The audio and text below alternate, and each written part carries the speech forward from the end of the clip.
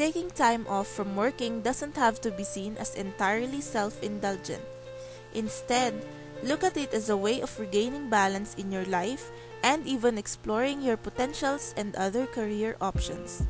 Feeling stuck is one thing that propels some people toward seeking a break, but once they're out there, they see a wide variety of opportunities they weren't aware of in a company where progress is solely linear.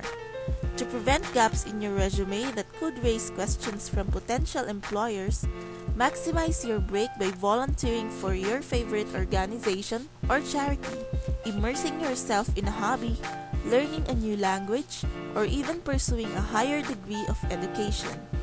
To sustain your finances, apply for a part time job or project based work. Consider the maximum time you expect to be out of work and your career options if you wish to return to the same job and or the same company. Be sure to maintain your professional and personal support networks while on break too.